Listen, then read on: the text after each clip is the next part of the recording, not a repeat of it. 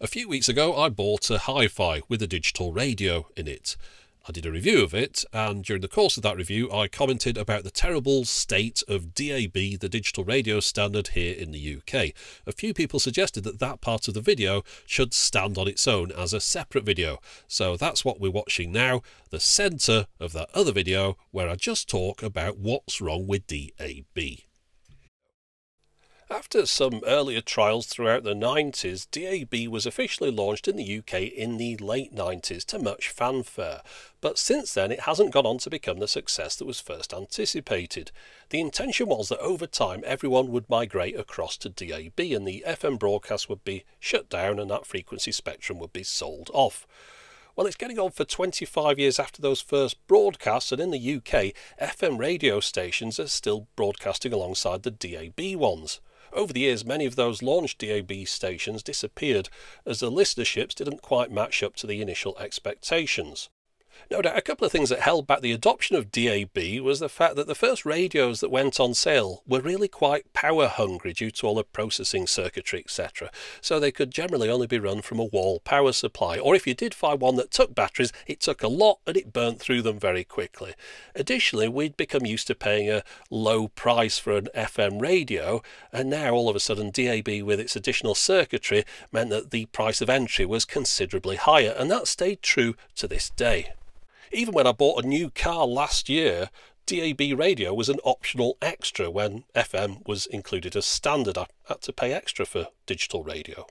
Another problem with DAB is that despite its early promises, it doesn't really sound all that good, in many cases worse than FM. Part of that is down to the fact that when it was launched in the UK, the codec standard was MPEG 1 Audio Layer 2, also commonly referred to now as MP2. Since then, DAB Plus was introduced, which uses a more up-to-date and efficient codec and this has gone on to become more successful in some countries where they've effectively reset and relaunched DAB by completely switching over to the new standard. However, back in the UK, the vast majority of DAB stations are still broadcasting on the original 30 or so year old inefficient MP2 codec. The newer DAB Plus standard uses an AAC codec, which is considered to be twice as efficient. So you could use the same bitrate and get significantly improved sound quality. But going back to MP2, which is the standard most used in the UK, according to a BBC research and development document from 2003, they determined that this codec required a 256 kilobits a second bitrate to provide a high quality stereo broadcast. But you could reduce that down to 224 kilobits a second, which was described as adequate. However, reducing the bitrate down to 192 kilobits a second would start to introduce imperfections.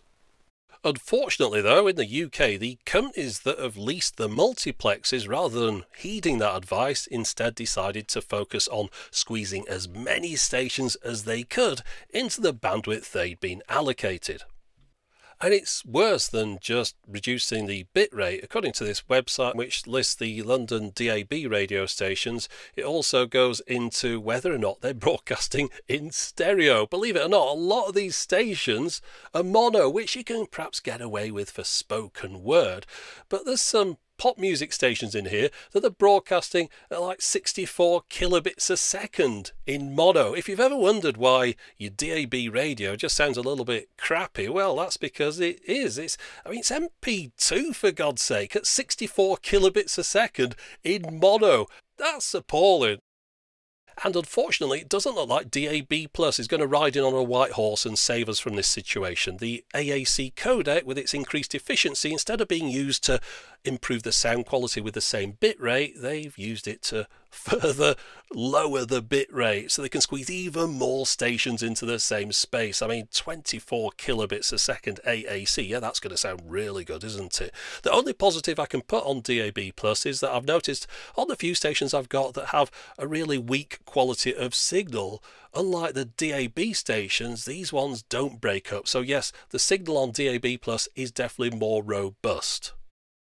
So that wraps up the section taken from the previous video regarding DAB, but just to finish this whole video off, I noticed the other day a number of regional radio stations in the UK are set for closure in favour of taking the national feed from that group instead.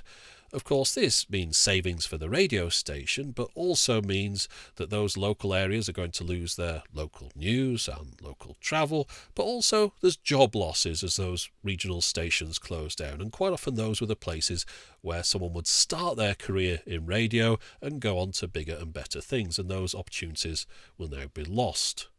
It seems like things are getting worse for radio here in the UK rather than better which is a shame. Of course, people will say, well, just use internet radio or just stream things over your phone. And yes, all those options exist, but regional radio is still something that is useful to a great number of people. And it's a shame that we've entered into this situation where we're listening to mono low bitrate radio from a national broadcaster who's actually not doing so bad. Apparently, DAB is doing fine as far as finance goes. They're just not spending the money on their own output. But anyway, that's it for the moment. As always, thanks for watching.